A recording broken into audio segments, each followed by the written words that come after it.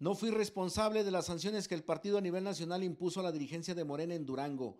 No tengo nada que ver, aseguró Gustavo Santiago Pedro Cortés, quien afirmó que él sigue trabajando en coordinación con Enrique Novelo, coordinador de programas federales para Durango.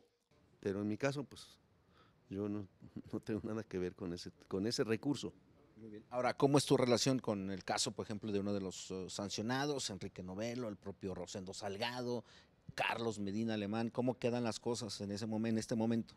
Pues miren, yo con quien me estoy coordinando para los programas de Andrés Manuel es con Enrique Novelo. Él, aunque esté involucrado en el documento, hay que ver que él tiene responsabilidades administrativas, no de partido.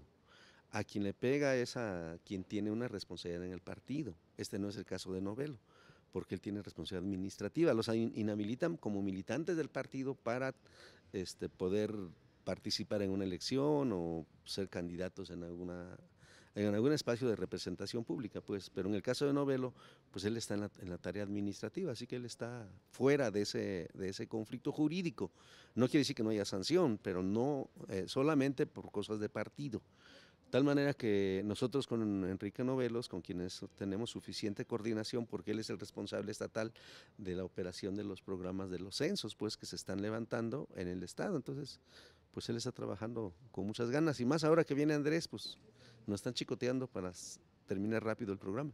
¿Hay eh, algún eh, rompimiento con eh, Rosendo Salgado? Pues no hay rompimiento porque no se rompe lo que no existe. Es decir, nosotros ya nos eh, replegamos a la tarea administrativa, a la tarea que nos han estado asignando. Entonces, ese tema del partido está en manos de, de la Comisión de Honor y Justicia y bueno, alguna resolución va a haber. Para Canal 12 Noticias con imágenes de Manuel Torres les informa Roberto Silva Díaz.